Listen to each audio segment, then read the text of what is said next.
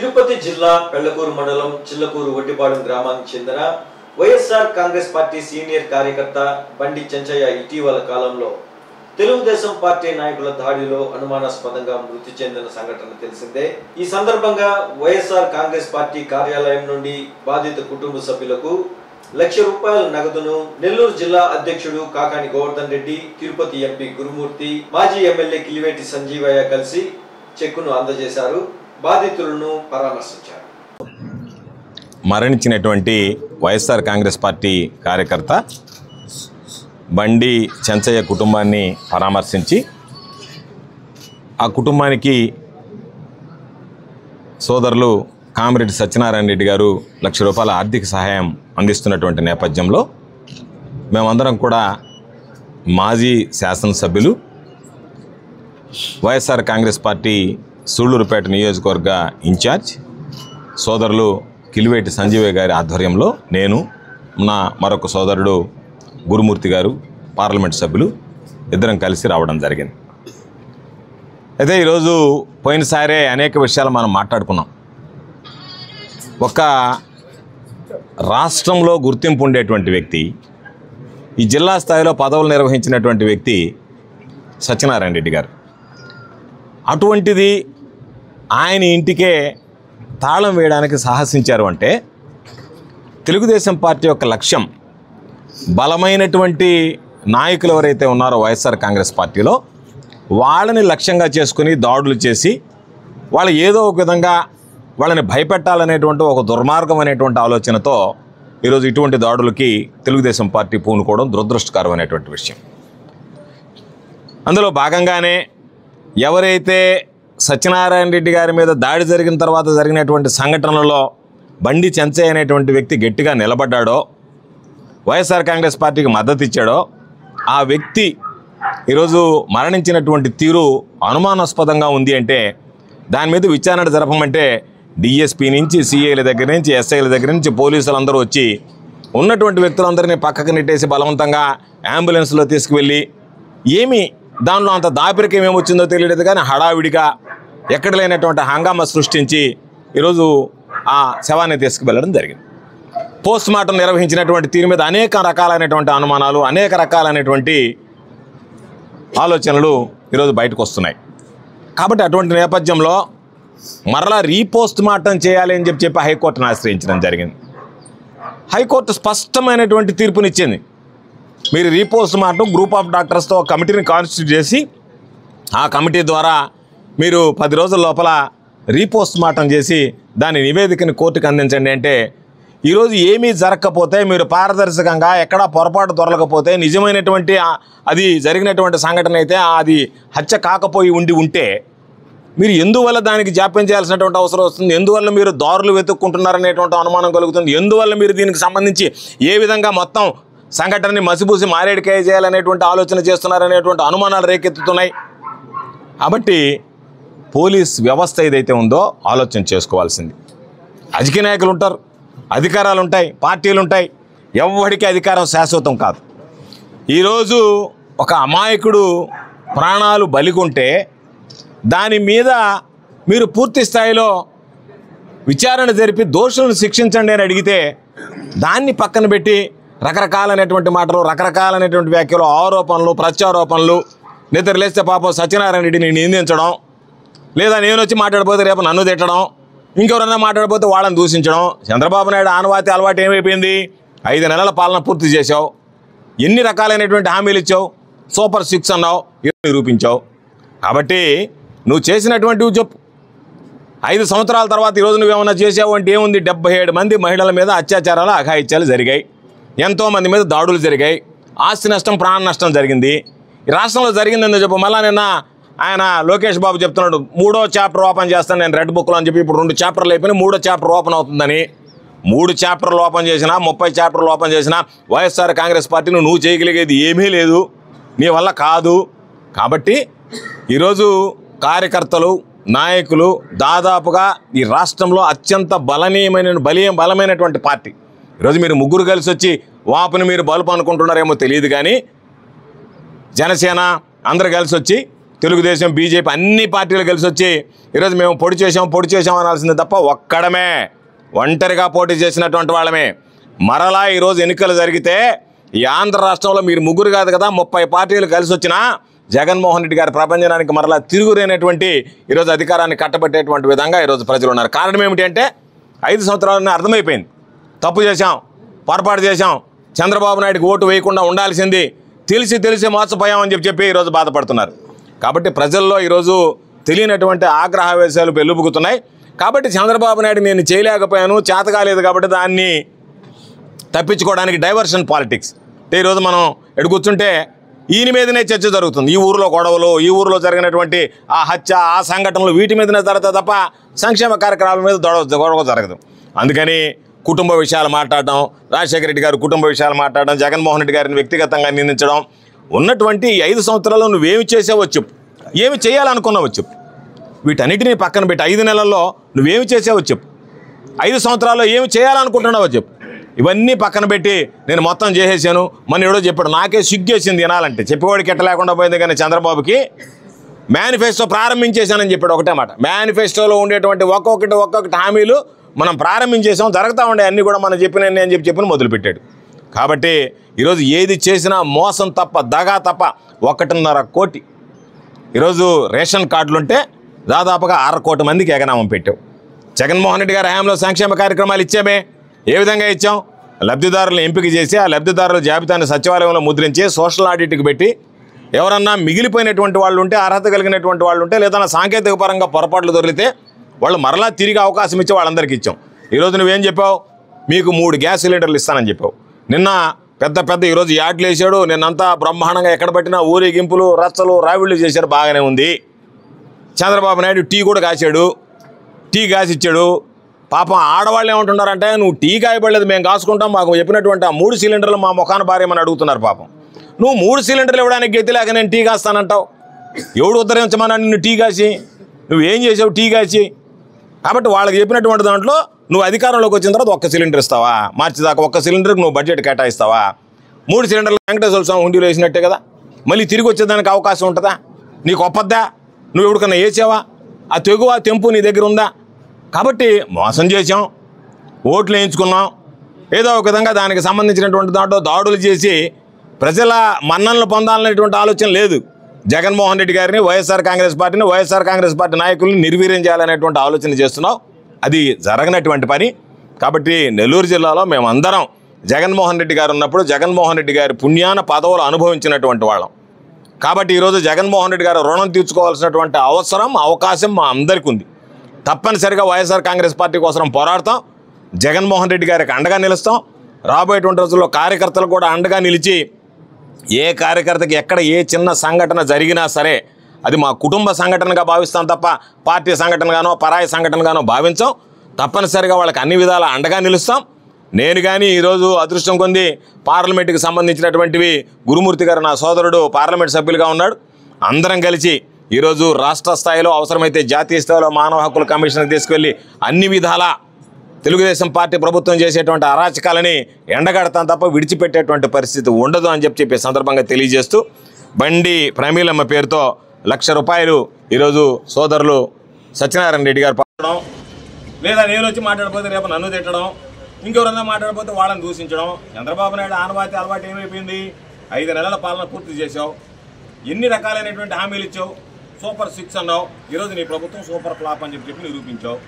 కాబట్టి నువ్వు చేసినటువంటి చెప్పు ఐదు సంవత్సరాల తర్వాత ఈరోజు నువ్వేమన్నా చేసావు అంటే ఏముంది? డెబ్బై ఏడు మంది మహిళల మీద అత్యాచారాలు అఘాయిత్యాలు జరిగాయి. ఎంతో మంది మీద దాడులు జరిగాయి. ఆస్తి నష్టం ప్రాణ నష్టం జరిగింది. రాష్ట్రంలో జరిగిందని చెప్పి. మళ్ళా నిన్న ఆయన లోకేష్ బాబు చెప్తున్నాడు మూడో చాప్టర్ ఓపెన్ చేస్తాను నేను రెడ్ బుక్లో అని చెప్పి ఇప్పుడు రెండు చాప్టర్లు అయిపోయి మూడో చాప్టర్ ఓపెన్ అవుతుందని. మూడు చాప్టర్లు ఓపెన్ చేసినా ముప్పై చాప్టర్లు ఓపెన్ చేసినా వైఎస్ఆర్ కాంగ్రెస్ పార్టీని నువ్వు చేయగలిగేది ఏమీ లేదు. నీ వల్ల కాదు. కాబట్టి ఈరోజు కార్యకర్తలు నాయకులు దాదాపుగా ఈ రాష్ట్రంలో అత్యంత బలనీయమైన బలీయ బలమైనటువంటి పార్టీ. ఈరోజు మీరు ముగ్గురు కలిసి వచ్చి వాపును మీరు బలుపు అనుకుంటున్నారేమో తెలియదు కానీ జనసేన అందరు కలిసి వచ్చి తెలుగుదేశం బీజేపీ అన్ని పార్టీలు కలిసి వచ్చి ఈరోజు మేము పొడి చేసాం పొడి చేసాం అనాల్సింది తప్ప ఒక్కడమే ఒంటరిగా పోటీ చేసినటువంటి వాళ్ళమే. ఆదుకోవడానికి. సంజీవ గారు చెప్పినట్టుగా ఈ లక్ష రూపాయల వల్ల ఉద్ధరిస్తామని కాదు మేమందరం పరామర్శించి ఆ కుటుంబానికి అండగా నిలవడానికి అందరం అండదండలు అందించాలనేటువంటి లక్ష్యంతో లక్ష రూపాయల చెక్ ఈరోజు పార్టీ పక్షాన సత్యనారాయణ రెడ్డి గారి సౌజన్యంతో వాళ్ళకి అందజేయడం జరుగుతుంది. అందుకోసం మేము అందరం రావడం జరుగుతుంది. తప్పనిసరిగా మరలా మరలా చెప్తున్నా సూళ్ళూరుపేట నియోజకవర్గంలో ఏ రోజు ఎన్నికలు జరిగినా సరే తిరిగి మరలా సంజీవయ్య ఈరోజు మరలా శాసనసభ్యుడు అవుతాడు. నాకు తెలిసినంత వరకు జమిలీ ఎన్నికలు రానున్నాయి. ఇంకొక రెండు సంవత్సరాల్లోనే రెండు వేల ఇరవై ఆరులోనే జమిలీ ఎన్నికలు వస్తాయి. జమిలీ ఎన్నికలు వచ్చిందంటే చంద్రబాబు నాయుడుకి ఆ ఒక్క సీటు కూడా రాదు. ఈరోజు చంద్రబాబు నాయుడు పదకొండు పదకొండు పదకొండు అని మమ్మల్ని ఎగతాళి చేస్తున్నాడు. ఆ ఒక్క సీటు కూడా గెలుచుకోవడం కష్టం అవుతుంది ఇప్పటికే మీరు మీరు దన్నుకుంటున్నారు. మీరు మీరు రోడ్డుకి ఎక్కారు ఆయన అయితే నన్ను చెప్పాడు తొక్కి నార తీస్తానని చెప్పి చెప్పి. ఎవడని తొక్కుతావా ఎవడని నార తీస్తావు నువ్వు? గతంలో ఎవడన్నా ఒకరు మాట్లాడితే వాళ్ళు అట్ట మాట్లాడారు ఇట్లా మాట్లాడారని చెప్పి చెప్పానని నువ్వు ఏడుపులు పెడబొబ్బులు పెట్టినటువంటి వాడివి. ఉప ముఖ్యమంత్రి స్థాయిలో ఉండేటువంటి వాడికి ఎందుకు నీకు అంత ఫ్రస్ట్రేషన్ ఉందంటే నీకు తెలుగుదేశం మీద పట్టంలే. మీ వాళ్ళని పట్టుకుని వాళ్ళు చితకబాతున్నారు దాన్ని నువ్వు జీర్ణించుకోలేకపోతున్నావు. జనసేనకు సంబంధించినటువంటి వాళ్ళు తెలుగుదేశం పార్టీ వాళ్ళు చితకబాతే. ఆ కోపం మా మీద చూపించి మా వాళ్ళని పెట్టుకొని తొక్కిపెట్టిన నార తీయాల్సింది ఆరదీయాల్సింది నార తీయాల్సింది లోకేష్కి తీస్తావా? నారా. చంద్రబాబుకి తీస్తావా? వాళ్ళకి నువ్వు తొక్కిపెట్టి నార తీయాలి కానీ మిగతా వాళ్ళకి నార తీస్తానంటే ఎవరు తీయించుకుంటారు నీ చేత నారా? కాబట్టి మీరు నోరు అదుపులో పెట్టుకోండి. మేమేమి కేసులకు భయపడం ఇప్పటికి నా మీద నాలుగు కేసులు ఏది? ఐదు నెలల్లో. నేను ఇంకా ఒక కేసు తక్కువ పడింది నెలకు ఒకటి పడాలి కదా నాలుగే పడిందని బాధపడుతున్నాను తప్ప నేనేమి నాలుగు కేసులు పెట్టారనుకోవడం. నలభై కేసులు పెట్టినా భయపడేటువంటి వాళ్ళం కాదు. సత్యనారాయణ రెడ్డి గారికి ఆల్రెడీ పాపం ఒకసారి జైలుకి పంపించారు ఏమీ భయపడలేదు. ఆరు కేసులు ఉన్నాయి జైలుకి పోయి ఇచ్చాడు కాబట్టి మేమందరం వాటికి భయపడేటువంటి వాళ్ళం కాదు మీలాగా పిరికి వాళ్ళం కాదు. కేసులకు భయపడేటువంటి పిరికి వాళ్ళు వైఎస్ఆర్ కాంగ్రెస్ పార్టీలో ఎవరు లేరు. కాబట్టి ఖచ్చితంగా పోరాడతాం. ఏ రోజు ఎన్నికలు వచ్చినా సరే మరలా చెప్తున్నాం. ఈ జిల్లాలో ఉమ్మడి నెల్లూరు జిల్లాలో ఉండేటువంటి పది సీట్లు కందుకూరు పదకొండు సీట్లు ఈ రోజు నుంచే మేము దానికి సిద్ధపడుతున్నాం. ఏ రోజు ఎన్నికలు వచ్చినా సరే సిద్ధంగా ఉన్నాం. తప్పనిసరిగా ప్రజల మద్దతుతో వైఎస్ఆర్ కాంగ్రెస్ పార్టీ మరలా అధికారంలోకి రావడానికి ఈ తెలుగుదేశం ప్రభుత్వం ఈ లోపల చేసేటువంటి ఆగడాలను ఎదుర్కోవడానికి సమిష్టిగా అందరం ఒకే త్రాటి మీద పోరాడతామని చెప్పి ఈ సందర్భంగా తెలియజేస్తూ పాపం ఆ బండి చంచే అనేటువంటి వ్యక్తి ఈరోజు మృతి చెందడం పట్ల మమ్మల్ని అందరినీ కలిచివేసింది. కాబట్టి ఈరోజు అందరం వెళ్ళి ఈరోజు దాని మీద ఒకవేళ కనుక వెంటనే కనుక వీళ్ళు కనుక చర్యలు తీసుకోకపోతే కోర్టు ధిక్కారం కింద కంటెంప్ట్ కేసు కూడా నోటీసెస్ ఇచ్చి ముందుకు వెళ్తాం తప్ప పోలీసులు మేము ఇష్టారాజ్యంగా వ్యవహరిస్తామంటే విడిచిపెట్టేది ఉండదు. తప్పనిసరిగా ఇటువంటి సంఘటనల మీద న్యాయ పోరాటం చేస్తామని చెప్పి ఈ సందర్భంగా తెలియజేస్తాం ఒక కార్యకర్త బుద్ధికి వైఎస్ఆర్ కాంగ్రెస్ పార్టీలో ఇంతమంది తోడ్పడడం చాలా సంతోషించదగ్గ విషయం. మేము లక్ష రూపాయలతో వాళ్ళ కుటుంబాన్ని బాధ తీర్చలేం. ఆ పిల్లోడు చదువు కానీ కూతురు చదువు కానీ ఆ కుటుంబం నిలబడేదానికి ఒక లక్ష రూపాయలు మేము తాత్కాలికంగా జగన్మోహన్ రెడ్డి గారు ఆదేశాలతో ఇవ్వడం జరిగింది. కొరవ ఆ పిల్లకాయల చదువులకు కూడా పూర్తిగా బాధ్యత వహిస్తామని మీకు అందరూ తెలియజేస్తున్నాం. అదే కాకుండా ఇంకొక ముఖ్యమైన విషయం. నిన్ననే మన మా ముఖ్యమంత్రి గారు పూర్తిగా స్టేట్మెంట్ ఇవ్వడం జరిగింది. మద్యం మీద. అంతకుముందు రివ్యూ చేసి ఇచ్చాడు. మళ్ళా ఇచ్చాడు రెండోసారి. మళ్ళా నిన్న మూడోసారి ఇచ్చాడు. నేను జిల్లా మీటింగ్లో చెప్పా నెల్లూరులో.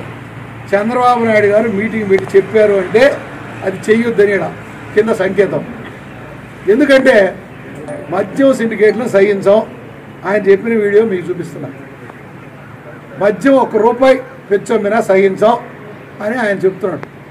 వాళ్ళ నాయకులు పాపం ఆప సోపాల మీద కారులలో వేసుకుని బెల్ షాపులు ఊరికి ఇరవై పెట్టున్నారండి.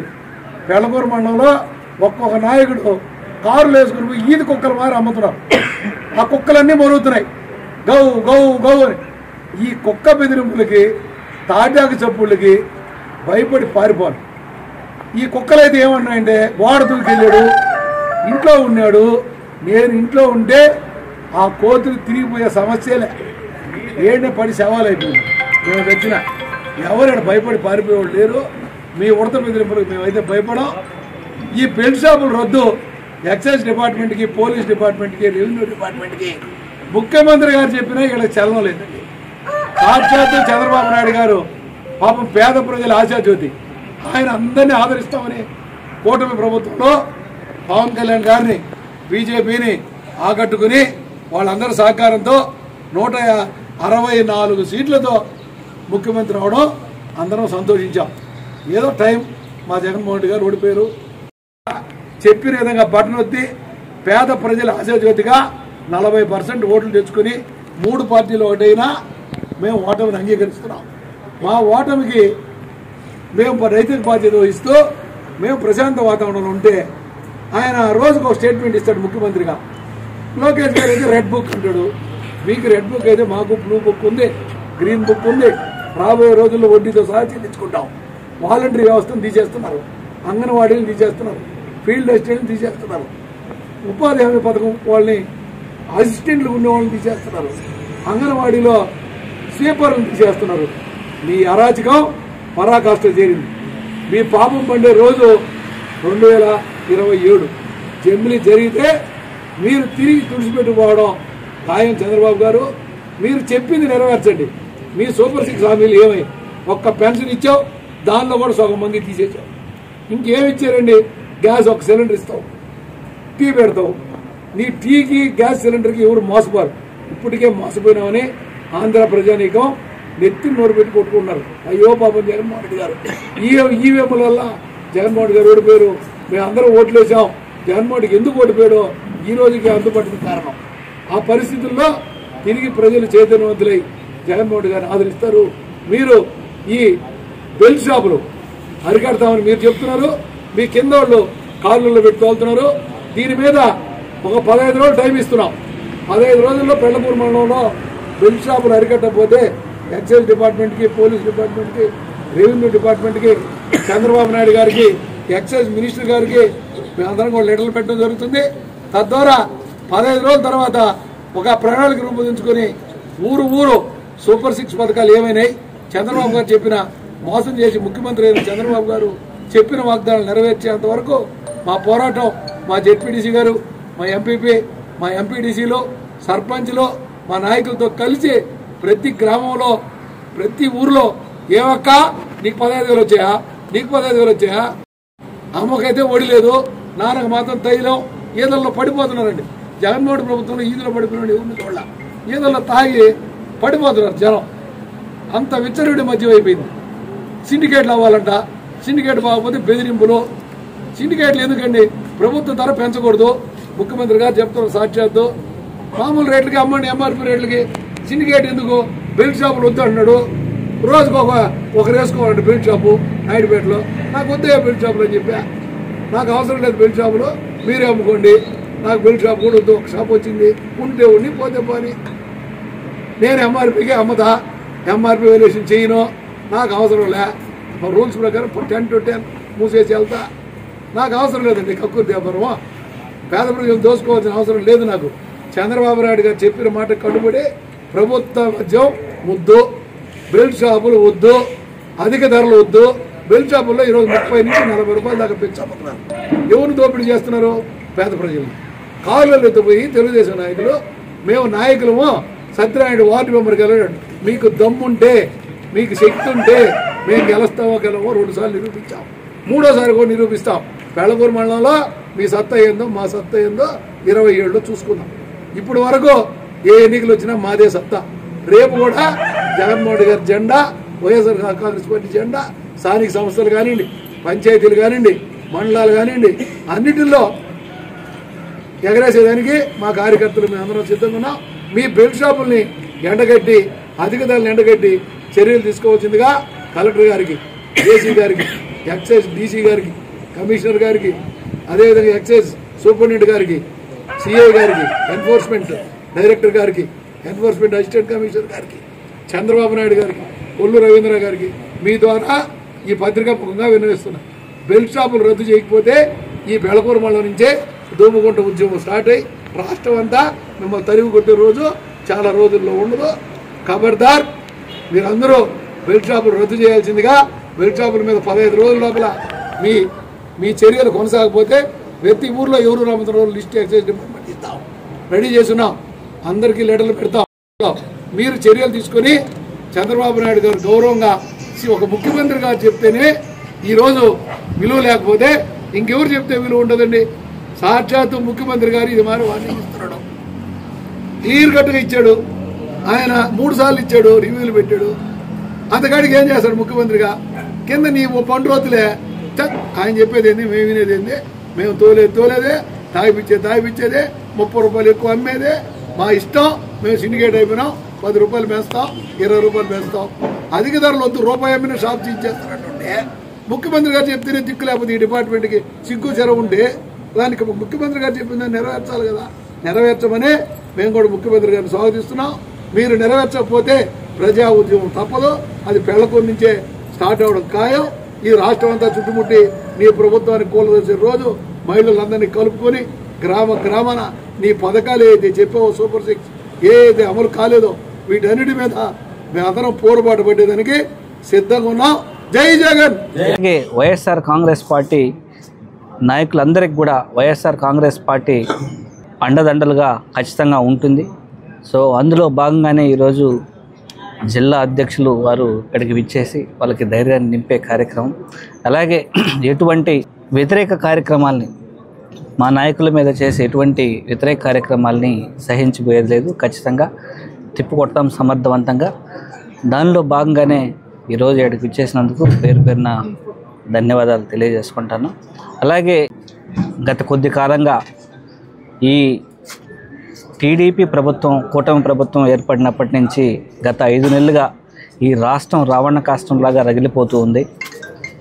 ఎన్నో మర్డర్స్ అలాగే మహిళలకి రక్షణ లేకుండా పోవడం అలాగే వైఎస్ఆర్ కాంగ్రెస్ పార్టీ సుశిక్షితులైనటువంటి కార్యకర్తల మీద దాడులు చేయడం అలాగే వాళ్ళ ఆస్తులు ధ్వంసం చేయడం జరుగుతూ ఉంది.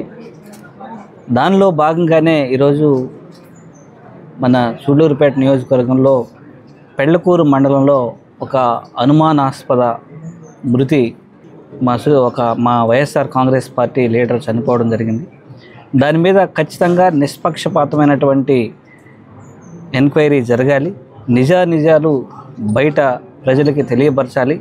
ఆ కుటుంబానికి తగిన న్యాయం జరగాలని ఈ ప్రభుత్వాన్ని డిమాండ్ చేస్తున్నాం గత ఐదు మాసాలుగా తెలుగుదేశం ప్రభుత్వం అధికారంలోకి వచ్చిన రోజు నుంచి చంద్రబాబు నాయుడు గారికి పాలన చేతగాక ప్రజలకి ఏదైతే ఎన్నికల్లో హామీలు ఇచ్చారో ఆ హామీల్ని నెరవేర్చడం ఈ సూపర్ సిక్స్ని నెరవేర్చడం చేతగాక లోకేష్ బాబు ఏదైతే ఎన్నికల ముందు చెప్తా ఉన్నాడో ఆ విధంగా ఆ రెడ్ బుక్ పాలనని ఈ రాష్ట్రంలో సాగిస్తూ వైఎస్ఆర్ కాంగ్రెస్ పార్టీ నాయకుల్ని కార్యకర్తల్ని మరి సానుభూతి పరులని అందరిని కూడా ఇబ్బంది పెట్టే కార్యక్రమం.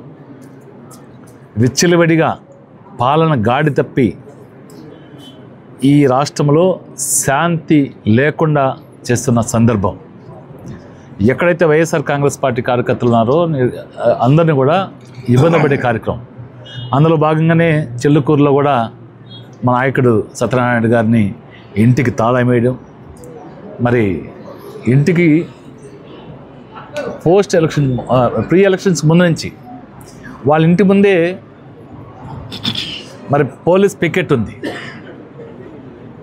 ఒక ఏఎస్ఐ ఇద్దరు కానిస్టేబుళ్ళు twenty four hours twenty by twenty four by seven ఉంటున్నారు.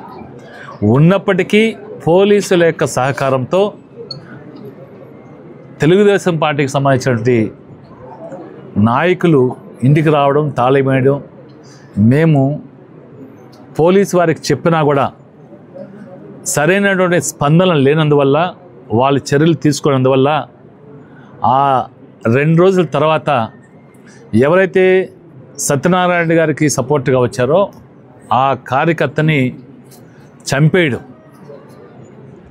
ఇది పోలీసు వారితో కుమ్మక్కై ఆ తెలుగుదేశం పార్టీ నాయకులే ఎవరైతే ఇక్కడ గొడవ సృష్టించారో వాళ్ళే చంపేసినట్టుగా మాకు అనుమానం. ఎందుకంటే అది చంపేసిన ప్రాంతం ఉరేసుకున్నట్టుగా చిత్రీకరించే ప్రయత్నం చేశారు కానీ అది నిజంగా ప్లాన్ మర్డర్ అని అనుకుంటా ఉన్నాం. కోర్టుకు భయం తూతుమంత్రంగా మరి పోస్ట్ మార్టం రిపోర్ట్ కూడా ఈ రోజుకి ఇవ్వలేదు post mortem report. Preliminary report కూడా ఇవ్వని సందర్భం. డాక్టర్ల పైన విపరీతమైన ప్రెజర్ వాళ్ళని సూసైడ్గా ఉరేసుకున్నట్టుగా ఇవ్వమని. అందుకనే వాళ్ళు కూడా భయపడి ఇప్పటికీ రిపోర్ట్ ఇవ్వని పరిస్థితి. కోర్టుకి వెళ్ళి కోర్టు ద్వారా డైరెక్షన్స్ ఇచ్చినా కూడా డైరెక్షన్స్ ఇచ్చి వారం రోజులు కావస్తున్నా కూడా ఈ రోజుకి మరి రీపోస్ట్ మార్టం చేయమని ఆర్డర్ ఈ రోజుకి రీపోస్ట్ మార్టం చేయని సందర్భం. మరి ఇన్ని జరుగుతూ ఉన్నాయి. ప్రజలు గమనిస్తూ ఉన్నారు. ఖచ్చితంగా వీళ్ళకి తగిన సమయంలో ఖచ్చితంగా బుద్ధి చెప్తారు. అయితే వైఎస్ఆర్ కాంగ్రెస్ పార్టీ జగన్మోహన్ రెడ్డి గారు ఆదేశానుసారం జగన్మోహన్ రెడ్డి గారు చెప్పినట్టుగా వైఎస్ఆర్ కాంగ్రెస్ పార్టీ కార్యకర్తలకు కానీ అభిమానులకు కానీ ఈ పార్టీ ఎప్పుడు అండగా ఉంటుంది. మా నాయకుడు చెప్తా ఉన్నారు. మరి జిల్లా అధ్యక్షుల వారి యొక్క నేతృత్వంలో ఖచ్చితంగా ఎక్కడ అన్యాయం జరిగినా ఎక్కడ కార్యకర్తకి ఇబ్బంది జరిగినా మరి జగన్మోహన్ రెడ్డి గారి ఆదేశాల ప్రకారం మరి జిల్లా అధ్యక్షులు గారితేమి నాయకులు అయితేనేమి అండగా ఉండి వారికి అనే అన్ని విధాల సహకారం అందిస్తాం. అందులో భాగంగా ఈరోజు చనిపోయినారు వాళ్ళకి మరి జగన్మోహన్ రెడ్డి గారి ఆదేశారం పార్టీ తరఫున లక్ష రూపాయలు చెక్ కూడా ఈరోజు జిల్లా అధ్యక్షుల వారు వారి కుటుంబానికి ఇవ్వబోతున్నారు. అంటే లక్ష రూపాయలతో వాళ్ళ కుటుంబంకి ఏదో అవుతుందని కాదు. కానీ కొంత శాంతన కొంత భరోసా ఇచ్చేదానికి. పార్టీ ఎప్పుడు కార్యకర్తకు అండగా ఉంటుంది అని చెప్పే దాంట్లో భాగంగానే ఈ కార్యక్రమం చేస్తున్నాం. ఖచ్చితంగా ఈ రోజుకైనా పోలీసు వారు నిద్ర ముద్ర నిద్ర లేవాలి రీపోస్ట్ మనం జరిపించాలి. ఈరోజు టెక్నాలజీ పెరిగిపోయింది. మేము ఆ రోజు కూడా చెప్పాం మీరు టవర్ డమ్ తీసుకోండి